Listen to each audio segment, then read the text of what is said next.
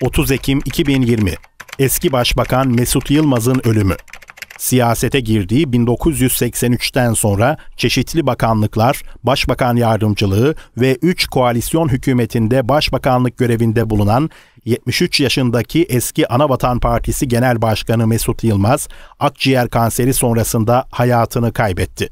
Gazeteci yazar Emin Pazarcı, eski Başbakan Yılmaz'ın bir icraatını hatıralarında şöyle anlatıyor.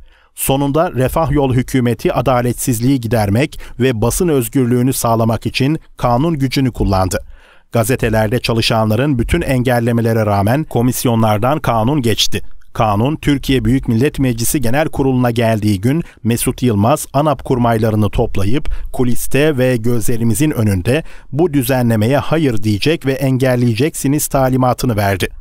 Başbakan Mesut Yılmaz'ın kesintisiz 8 yıl eğitim kanununu çıkararak İmam Hatip okullarının orta kısmını kapatmasının ardından yaptığı bir icraatını eski bürokrat Ertan Yülek hatıralarında şöyle anlatıyor.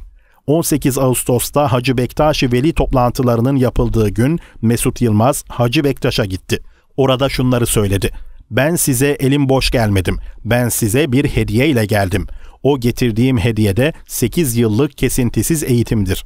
Bu iş benim siyasi hayatıma mal olsa da ben bunu yapacağım dedim ve yaptım.''